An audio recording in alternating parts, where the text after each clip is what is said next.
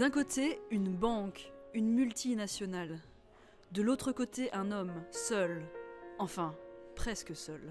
C'est pas les qu'il faut juger l'évasion fiscale en bande organisée Aujourd'hui, au tribunal correctionnel de Dax, la BNP Paribas attaque John Palais pour vol de chaises en réunion, alors que cette banque détient plusieurs filiales dans des paradis fiscaux. Pourquoi cette plainte? En 2015, John et quelques citoyens ont pacifiquement réquisitionné des chaises dans des banques en ordonnant Rendez les milliards et nous rendrons les chaises. Ces confiscations de chaises ont été menées un peu partout dans une quarantaine de banques françaises. Puisque certains États ne luttent pas contre les compétitions fiscales, la société civile organise ainsi le débat de l'évasion fiscale. Et qu'en est-il de la justice? Face à la banque ubuesque, deux avocates défendent John, Eva et Caroline Joly, soutenues également par une vingtaine d'organisations et de nombreuses personnalités politiques, intellectuelles, et artistiques qui ont un sens commun de la justice. Sans haine, sans armes et sans violence, de résistance sans désobéissance. On est là pour euh, évidemment défendre euh, les militants, John Palais, euh, coupable d'actions citoyennes au service de l'intérêt général, ce qui est toujours extraordinairement dramatique dans notre pays, entre Deltour et Palais on juge ceux qui combattent l'évasion fiscale et on ne juge pas ceux qui la pratiquent. Et en fait, aujourd'hui, c'est d'abord euh, le procès de l'évasion fiscale, organisé, structuré par les grandes banques et soutenu malheureusement trop souvent par les gouvernements.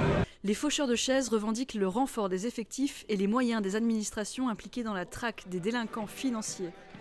Ils demandent la suppression du monopole du ministre du Budget, en matière de poursuite pénale contre les gros fraudeurs et le renfort des moyens de la police fiscale et du parquet national financier. Si Jeune Palais est le premier faucheur de chaises à passer en justice, le prochain sur la liste est le président des Amis de la Terre qui ne lâche rien. Le premier procès et ses conséquences euh, vont forcément être suivis et étudiés par euh, le futur tribunal qui, euh, qui sera amené à me juger. Et donc, bien évidemment, ça a un impact et ça a un impact aussi pour l'ensemble des procès qui pourraient se tenir par la suite ou de personnes qui pourraient être poursuivies pour ces actions.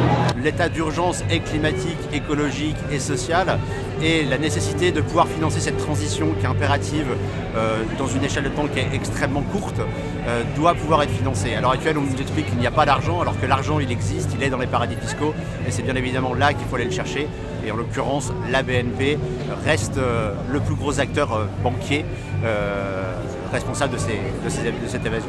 Maintenant, c'est bien naturel pour nous d'aller dans la BNP de notre ville pour protester contre l'enseigne de la BNP et ce qu'elle fait. Aujourd'hui, la BNP a demandé un euro symbolique à John Palais. Si John est relaxé et que la justice écoute les avocates, selon Eva Joly, le recouvrement des sommes évadées couvrira le déficit de l'ensemble des États membres.